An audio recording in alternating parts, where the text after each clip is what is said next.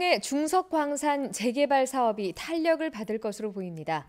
광산 개발을 위한 수백억 원대 공사 자금이 확보된 것으로 알려져 지역에서도 어느 때보다 기대감이 높아지고 있습니다.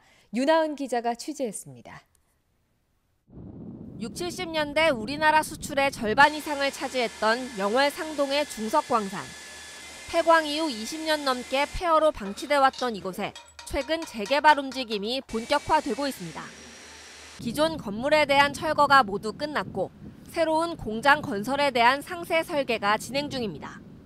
더욱이 재개발을 맡고 있는 업체가 820억 원대 프로젝트 파이낸싱을 확보했다고 캐나다 주식시장에 공시했습니다. 독일 정부가 100% 지분을 소유하고 있는 상업은행에서 장기간 대출을 받게 된 것입니다.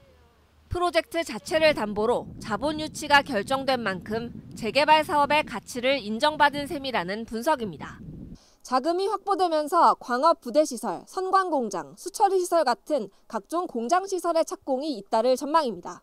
본격적인 생산, 갱내에선 채광을 하는 거고 채광된 원석에서 텅스턴을 선광하는 선광 공장의 가동은 2020년 중반으로 보시면은 지역의 반응은 어느 때보다 고무적입니다.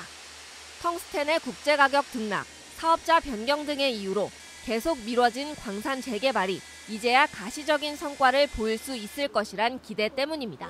지역에 많이 고용 창출과 지역에 많은 인구 유입이 돼가지고 옛날처럼 활성화되게끔 많이 기대를 하고 있습니다.